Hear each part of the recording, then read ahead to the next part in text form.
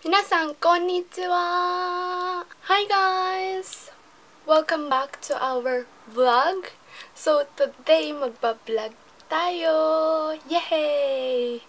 And, bala ko guys ngayon na mag-volunteer at magturo ng Japanese. Kaya, nakagayak na ako at naka-ligo na mi. Ayan, no? Fresh na fresh. ba? Diba?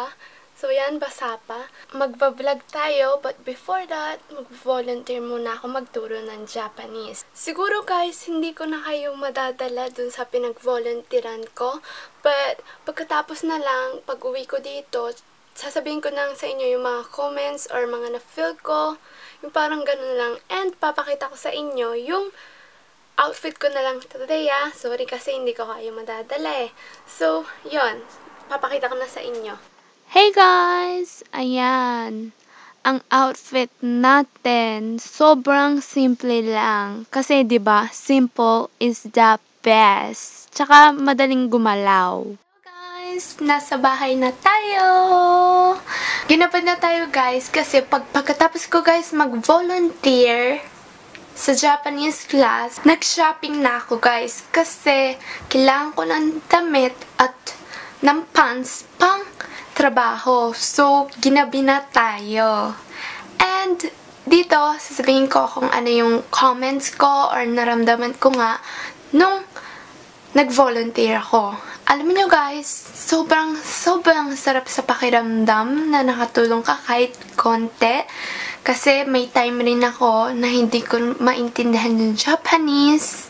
And tinuruan nila ako, madami nag-help sa akin. So, sobrang sarap sa pakiramdam. So, yun nga guys, ang sarap sa pakiramdam na makatulong, ba? And maganda dun guys, hindi lang sa nakakatulong ka sa iba, nakakapag-review rin ako. Guys, pag nagtiteach ka ng Japanese, nakapag-review ka na rin. Yung parang hindi mo naintindihan noon, pag in-explain mo or nag-teach ka sa isang tao, para marireview ka na at matututo ka rin. Next time ulit, bala akong mag-volunteer and kung wala nga akong pasok at saka hindi ako busy, bala akong pumunta doon at mag-volunteer hanggang makakaya ko. So, yun ang comments ko or opinions ko sa volunteer na ginawa ko kaninang umaga. So, next naman na sinabi ko sa inyo na tumuloy na ako na gumala or nag-shopping para dun sa mga gagamitin kong clothes sa work nakapag-shopping na ako and hindi ako nakapag-vlog guys kasi bawal ang camera doon. Madami dito sa Japan na bawal mag-film kaya hindi ako nakakapag kaya hindi ako nakapag-film ng masyado. Okay, so madami kong nabili na mga clothes yung pang-work ko nga at saka yung mga panggala-gala ko. Kaya, papakita ko sa inyo kung ano yung nabili ko. So, let's start! But before that guys, papakita ko muna sa inyo yung kinain ko today. Pumunta ako sa Yoshinoya and umorder ako ng butadong. New na food nila yan guys sa Yoshinoya. And vegetables, of course, favorite ko yung vegetables kasi at ang yummy niya. And yung soup naman natin ay yung tonjiru. Favorite na favorite ko yan ng soup ng Japanese. And sobrang yummy nila, guys. Yummy! Guys, yung nabili natin, nandito, nandito, papakita ko sa inyo. Guys, nabili ng mga clothes. Konti lang sana yung bala kong bilhin, but naparami ako kasi nakasale. Sobrang mura na niya. So, bumili na ako ng madami-dami. At syempre, yung sa tingin ko, kailangan ko lang at yung pinaka parang type na type ko lang yung binili ko. And guys, kung mahilig kayo mag-shopping or may bala kayo mag-shopping sa Japan, ire-recommend ko sa inyo na bumili ng mga clothes pag matatapos na yung season. Kunwari, winter kasi nung last month. So, nagsisale ngayon. Winter kasi, nung last month, tsaka nung mga January. So, ngayong March, nag-sale sila. Ganun kasi pag matatapos na season, nagsisale sila. So, it means yung mga pang-winter, naka-sale na ngayon. Tapatin nyo yung ganun at tsak makakamura kayo. So, as you can see guys, bumili ko sa Shimamura at Avail. Isang company lang ata sila eh, pero iba yung name. So, bumili ko doon and mga nakasale na, madami kong nakita. And sobrang mura talaga na nila. As in talaga. Ako kulipot ako ng tao, pero napamili talaga ako ng madami. Papakita ko na nga sa inyo yung mga nabili ko. Okay, so first, eto, yung pang men's, pang lalaki. Pero I think pwede rin to sa babae kasi plain lang siya. Ganyan. Ganyan lang siya, plain. Pero cotton. Parang cotton siya. Guys, etong damit na to, may shorts pa siya. Parang pajama na. Ganito, oh, nasuot ko ngayon. May baba at may taas. And look at this, guys. Dito yung price. Dati siyang 2.9. 2.9 talaga 2.9. Ang mahal niya. Pero now, nung nabili ko siya, ay guess what, guys? 300 yen lang siya. What? As in, sobrang mura na niya, oh. Sobrang baba niya. Kaya, ayun, napabili na. Tatry ko to sa winter or kahit sa mga autumn or spring. Maganda siya. So, yeah. As in, what? Na-surprise talaga ako dito. And I think maganda naman siya, kaya try natin. Then, next, next naman, ito guys, pinili ko para sa work ko. Kasi, I need this. I need this talaga. And, so, ayan. Ganito. Tadan! May ganito siya, oh. Sa gan may ganito siya, guys. Parang polo. Then, ayan. Ganyan kahaba. Puti siya, guys, kasi puti yung kailangan ko. Ayan. Sobra niya, guys, sarap isuot. As in, nung nag-change ako, tas tinry ko to, ang ano niya, maganda siya sa body ko. Sobrang ganda niya talaga. Type na type ko siya kasi yung iba guys na ganito, di ba madaming ganito na mga varieties, mga ganon. Madami, pero yung iba talaga hindi sa akin bagay. And eto, talagang ang sarap niya isuot. Sa akin, type na type ko siya talaga. Kaya, yun lang puro pinagsasabi ko. Pero, talaga guys, in my heart, ganun talaga yung iniisip ko. Ang ganda niya isuot. Ang name niya guys, kung gusto nyong i-check, ay Litians or Letians. Yun ang name niya. Yung parang brand niya. So, try nyo guys kung gusto nyo ng mga gantong outfit or pang business nga. Try nyo. Talagang sobrang ganda niya guys. Promise. And next naman, eto. Wait lang, ha? Kuhanin lang natin. Okay, ito. Tadan! Ayan, guys.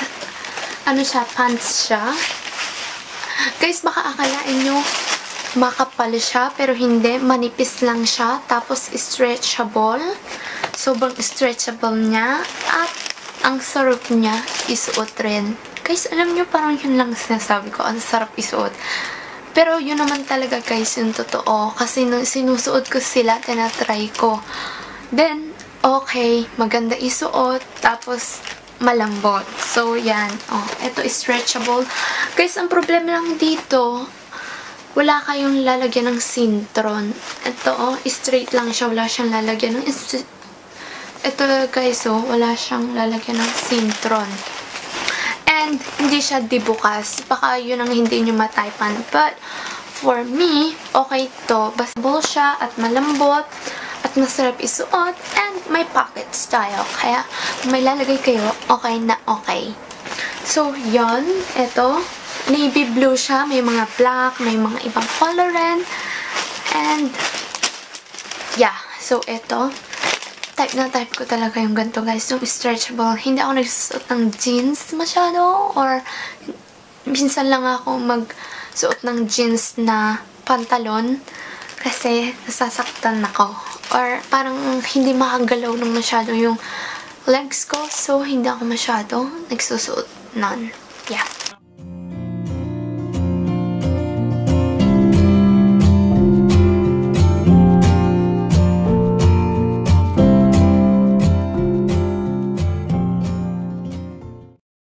Okay, okay guys. Next naman tayo. Dalawa na lang ang papakita ko sa inyo. Ito yung isa. Next, ito. Tadam! Stretch leggings. Yep, leggings siya guys. Ano, ganyan o. Oh, cool. Ang sexy niya. Bagay na bagay. Yan no. Joke lang. But yeah, ayan. Tanggalin natin para makita nyo.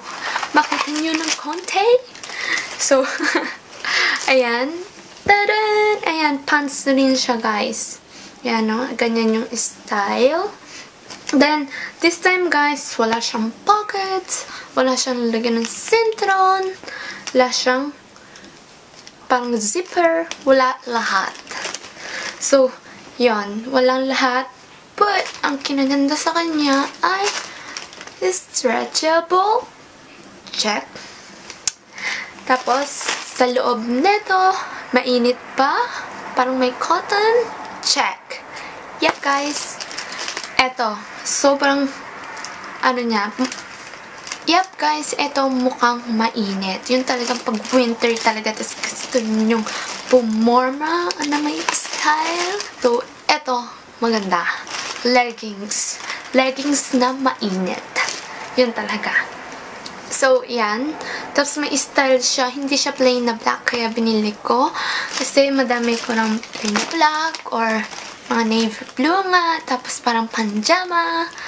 This time naman, para iba naman, di ba? So, yan. Leggings. Stretchable siya, guys. Kaya sobrang sarap niya isuot. At, pag winter nga, mainit siya. Kaya, very, very good siya sa akin. Hindi kasi ko guys bumibili ng mga jeans nga eh. Kasi hindi na ako sanay. Sanay na ako yung puro stretchable, yung nasasarapan ako, ganon. Yung nasasarapan akong mag yung nasasarapan ako guys na magsuot. Yep, yan. So, eto na guys ang last, la last, but not the least. so, yun. Ito na yung last, guys. Ito, guys. Siguro, ma... Siguro, guys, magiging gusto nyo to. Lalo na yung mga teenager dyan. So, eto, guys. Papakita ko na sa inyo. Eto na. Eto na. Ah. Dubi-dubi-du. Du-dubi-du. Du-bi-du-bi-du. Du-dubi-du. Alam niyo ba yung guys? Dati parang mayroon akong songs na narinig na ganun eh. Or, yeah, na narinig na songs na ganun. So, eto na nga. Da da da da da da Yep, sobrang haba niya. Ito guys, naka-connect siya. Yung hindi siya magkahiwalay. So, ganyan sa mga shoulders-shoulders nyo. And, eto, kaya niyong gumawa ng ribbon. Sobrang cute niya. Polka dots. Yep, ayan. Ribbon. Makagawa kayo. Then, naka-connect nga dito. Ayan. And, siguro guys, naka-curious kayo kung eto lang ba talaga? As in, eto lang. Ang sad naman. At saka, paano yung, ano, paano yung ano kita lahat? Nope, guys. Eto, may kasun siya nakasama. Nakaset na sila. Tadan! Tadan! Tadan! Ayan. Ayan, guys. So, kita-kita nyo. Akala nyo, guys, maluwang dito. Pero hindi naman masyadong maluwang. Okay lang siya. Hindi kita ang dip-dip natin. So, yan. Parang pangginaw siya. Pag pinasok niyo to, guys, dun, sobrang, sobrang cute niya. Talaga. As in, ang cute niya talaga. Sobrang, sobrang cute niya. Eto guys, nung sinuot ko, na in love ako. At binili ko na. Sobrang cute niya kasi guys. Sana nga mapapakita ko sa inyo yung sinuot ko to. Pero sobrang, sobrang, sobrang, sobrang guys na cute niya. And, ayun, binili ko na. Yup.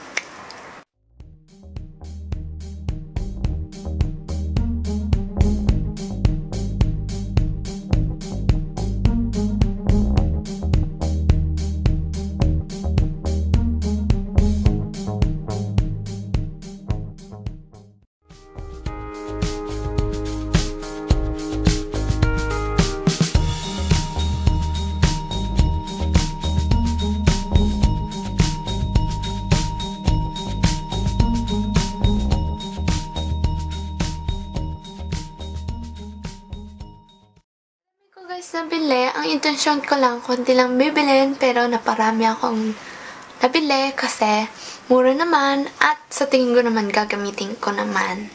And of course, ang cute nila. So, yun guys. Thank you for watching our vlog. At let's enjoy our day. Thank you for watching guys. See you again. Mata ne!